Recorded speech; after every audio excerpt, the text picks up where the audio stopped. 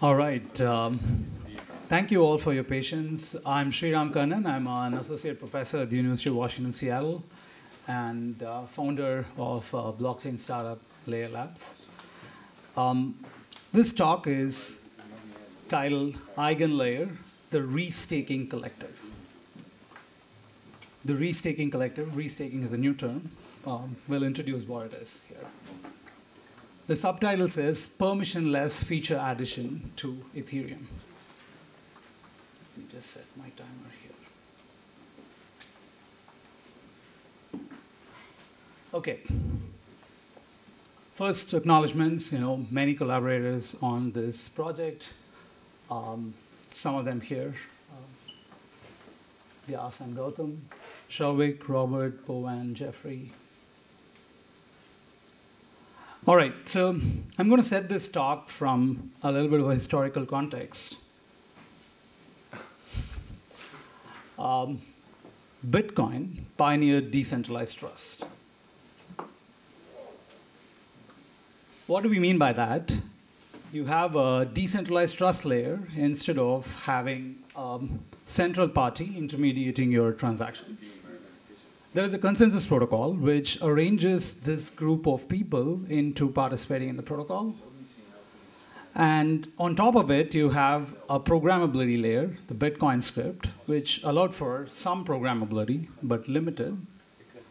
And you can think of this as the first example of a monolithic blockchain. What is a monolithic blockchain? It's a blockchain built for a special purpose. Of course, it's also the first blockchain and pioneered this whole idea.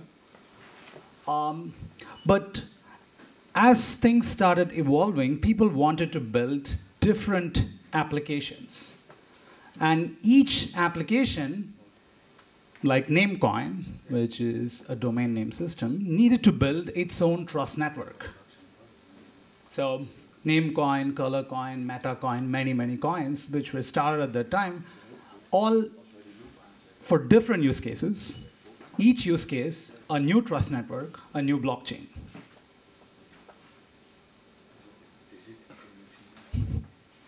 Okay, so Ethereum, you guys, pioneered modular blockchains.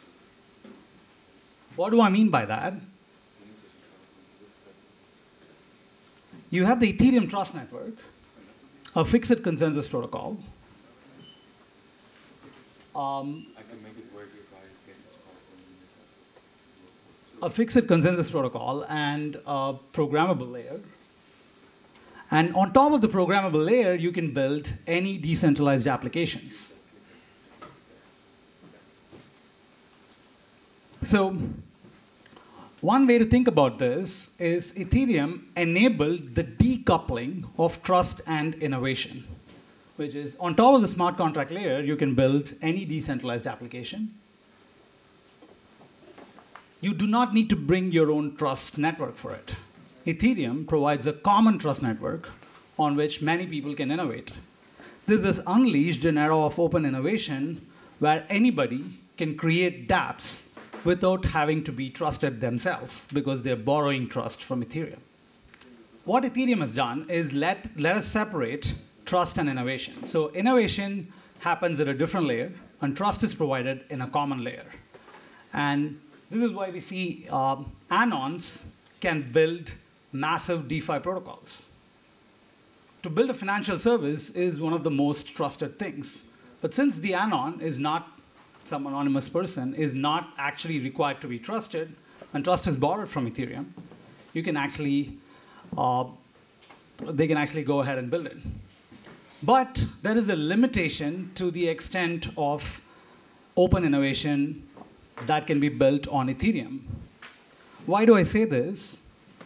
If you go any deeper than smart contracts and dApps, if you want to build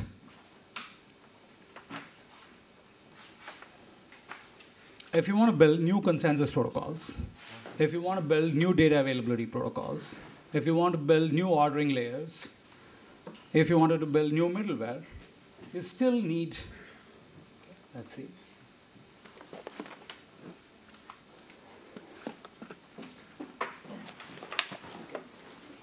So there are barriers to open innovation, and suppose you want to build your own new consensus protocol. What do you do? You have to go ahead and build your own blockchain. And we, we see the emergence of alt L1s, alternative layer ones, which have different feature sets, different trade-offs, different consensus protocols, different execution machines, and so on. And what this has done is, again, history repeats itself. Just like Bitcoin, just like Bitcoin, um, you could not build a bunch of different applications on top of Bitcoin and it fractured trust into smaller communities. What we're seeing here is the alternative L1s, just because you could not build these consensus protocols, these ordering layers, these execution engines into Ethereum, is fracturing trust into smaller groups again. All right, so you have alternative L1s, they all have smaller trust sources. Why? Because you cannot change the consensus protocol in Ethereum, fracturing trust into smaller islands.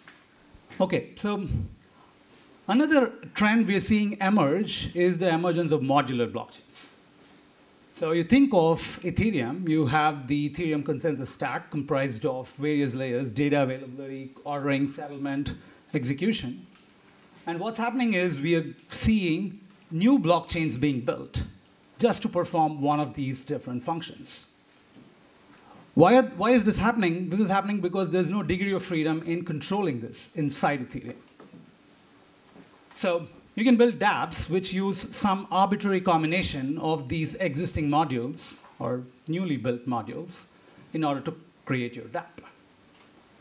But one thing which is left unsaid in this modular vision is where is the trust layer? Who is providing trust for all these different modules? Again, fracturing of trust into small islands in each of these layers. So just to put some numerical example, let's say the Ethereum Trust Network has $200 billion stake, not unreasonable in the near future. And each of these layers have some amount staked, you know, maybe a 50 billion, 50 billion, 10 billion, whatever. Now, what is the cost of corrupting these dApps, which are relying on this entire chain? Trust is the weakest link. If the execution layer is the weakest link, that's the, that's the trust bottleneck. So the entire cost of corrupting these dApps is $10 billion instead of, if you had a monolithic blockchain, $200 billion. Okay, so modularity fractures trust. Again, another example. Alt L1s, smaller uh, trust networks, modularity fractures trust. Middlewares also fracture trust. Oracles, bridges, anything that you need a distributed validation service needs its own trust network. So one way to uh, visualize this, you, you think of Ethereum as the base layer, and it's supplying trust to the dApps, but only in ordering and execution using the Ethereum protocol.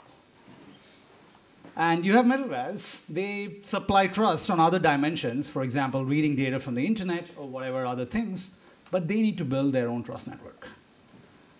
Again, this is a bottleneck to open innovation because if you want to build your own new Oracle, you need to build your own decentralized trust network, which is extremely difficult. Okay, so I'm going to phrase this problem economically, since we are at ETH economics.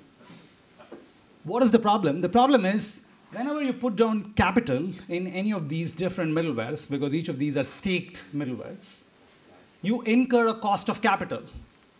Suppose you're putting down $50 billion at stake in a certain oracle. That means you need to make a 10% annual rate of return. Right? You need to be making revenue of $5 billion in order to sustain a $50 billion of stake in a certain middleware. There is a massive cost of capital in each module, in each middleware that you touch. As far as the dApps are concerned, dApps rely on not only um, dApps rely not only on uh, Ethereum but also these middleware, so they suffer lower trust guarantees. Finally, as far as Ethereum is concerned, or the core layer one is concerned, what is happening is instead of Ethereum being the decentralized trust network, it gets fractured and the value also gets split across all these different applications. All right, so now that I've set up the problem, the problem is a fracture of trust across all L1s, across different modules, across different middlewares. Same story as in the history why we had to go from Bitcoin to Ethereum. Okay, what we're proposing is a solution to this trust fracture problem and how Ethereum can internalize the economics of modularity. It's called EigenLayer. What is EigenLayer doing? EigenLayer is a mechanism by which the Ethereum trust can be redirected, can be redirected into any new modules that are built, that anybody can build. So the core idea of EigenLayer is restaking. I'll explain what is restaking. You've already staked as a staker or validator in the Ethereum proof of stake network. Now you can take that stake and subject yourself to additional slashing conditions and opt in and opt in to provide new services, new distributed validation services, same validator network. And through EigenLayer, you can provide many, many different validation services. Could be oracles, bridges, data availability, fair ordering, authentication, whatever you can think of. Instead of allowing innovation at the level only of programming a virtual machine, we can allow innovation at the level of programming the distributed system. You can specify what each node, each staker, what particular types of action they need to be taking. It transforms the innovation scale possible inside Ethereum. Okay, so how does it transform the economics of this situation? As far as the middleware are concerned, because you're restaking, you do not take new cost of capital. It is already the $200 billion that's staked in Ethereum and earning whatever annual percentage rate for staking. You do not take additional marginal capital cost. You're also pooling the capital cost across all the different applications. As far as the dApps are concerned, if you're using middleware, which are widely adopted, you can expect all of the ETH stakers opt in. So you will get the core Ethereum trust on many, many different middleware, and therefore the dApps also get core Ethereum trust. Finally, Ethereum itself starts growing in value, not only in the short term that the stakers make additional yield by opting into these different services. In the long term, the value of Ethereum is the total future revenue that you can derive by staking Ethereum. And that just takes an exponential upside. Okay, so that's the basic idea of EigenLayer. It is the restaking collective. What is a restaking collective? What do we do? So we look at the stack of Ethereum. You have the trust network, consensus protocol, virtual machine, and you had dApps, which anybody could build. EigenLayer is a series of smart contracts on top of Ethereum, which lets the stakers of Ethereum opt in, opt in to provide additional services. So this is called restaking. Particularly how it works, you know, all of your experts here in, uh, in the Ethereum proof of stake protocol, the way you do it is you go and you can be your own home validator for Ethereum, which is one of the big visions of Ethereum. But what you do is you go and when you deposit stake into the st staking contracts, you set the withdrawal credential to this smart contract instead of setting it to your own personal public key. You set it to the EigenLayer withdrawal contracts. So your withdrawal credentials are given to EigenLayer. Why is it given to EigenLayer? Because in this series of smart contracts, you opt in to provide additional services and if you did something wrong in these additional services, you may not be able to withdraw the entirety of your stake. You may get slashed partially. So that's it. It does not rely on staking derivatives. It does not lead to any centralization, none of those things. Restaking is a mechanism by which existing stakers opt in to provide additional services for additional yield while taking additional risk. It's a risk reward trade off operating on a free market. So instead of having all these segregated blockchains, each of which need their own trust network, their own capital cost, fragmenting trust across the ecosystem, you can recapture them back into the Ethereum ecosystem, where anybody can now innovate at the level of building new consensus protocols, at the level of building new virtual machines, at the level of building new dApps. It's open innovation all through the stack permissionless competition instead of one, one protocol to rule them all, one trust network to rule them all.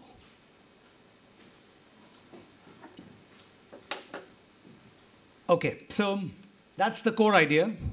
Let me see how we are doing on time here. I mean, it would be lunch, but I think uh, Okay, uh, let me take another yeah. you know, few minutes to wrap this up. Okay, so the idea here um, is reminiscent of merge mining for the many of you who are around in this area for a long time. So, you know, in proof of work systems, the dominant cost is not validation cost, it's mining cost. And that's obvious because, of course, mining takes up all energy and cost. So merge mining was a mechanism by which you amortize mining cost into many, many systems. You can build many blockchains which share the same mining and thereby amortize mining costs. However, the reason merge mining was not very successful is that the crypto economics does not transfer from the main chain, say Bitcoin, to any other merge mine chain. What do I mean by the crypto economics does not transfer? Even if 100% of all the miners opt in to your additional chain, the problem is if you attack the additional chain, the merge mined chain, you do not lose your Bitcoin. Most definitely, you do not lose your Bitcoin mining equipment. And Bitcoin does not crash in value because it has nothing to do with this new alt chain. Merge mining, therefore, has had a very bad rep.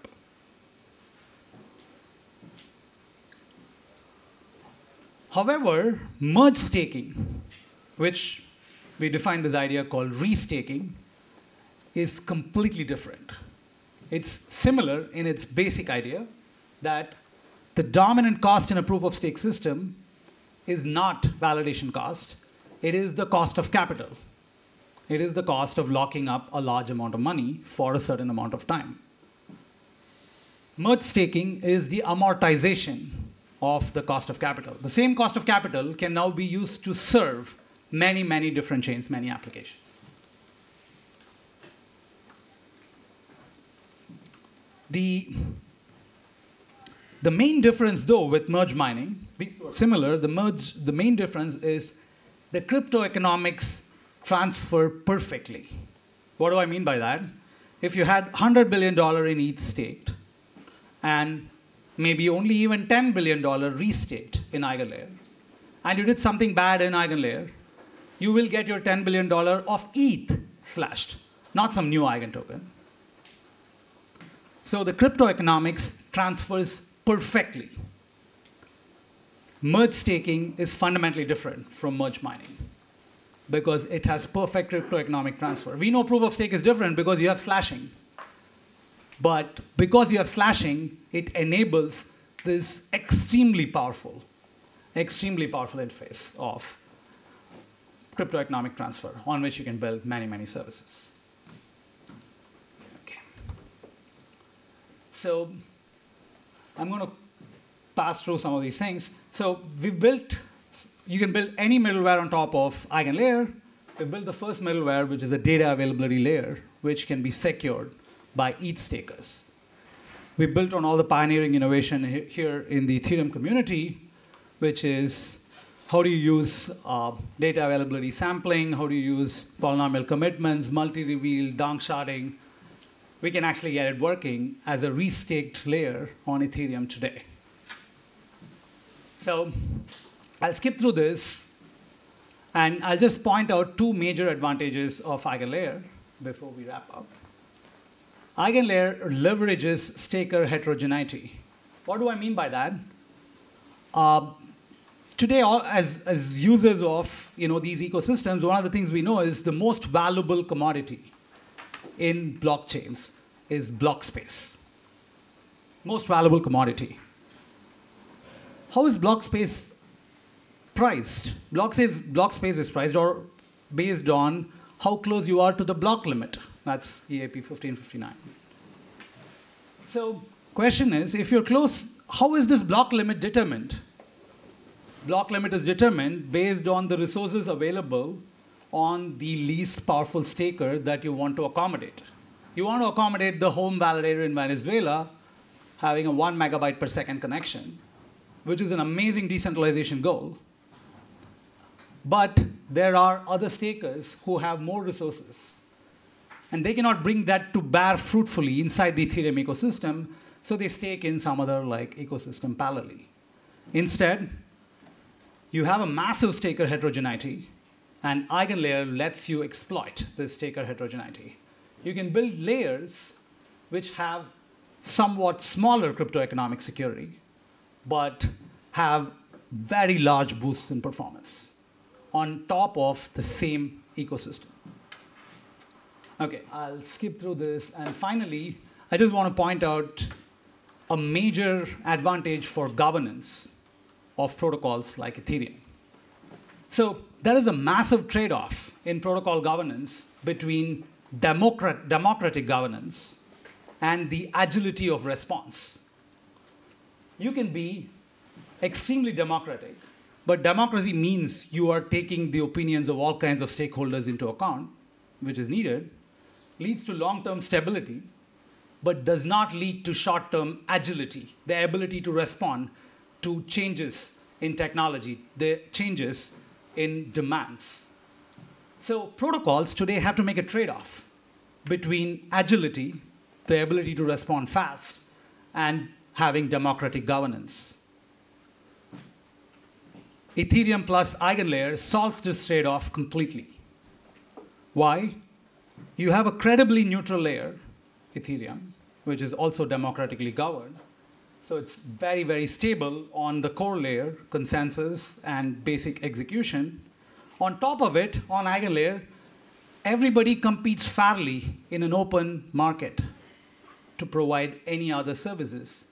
So you have you can leverage the same trust network to create agile innovation, as well as have a layer of stability that people who want long-term stability can use.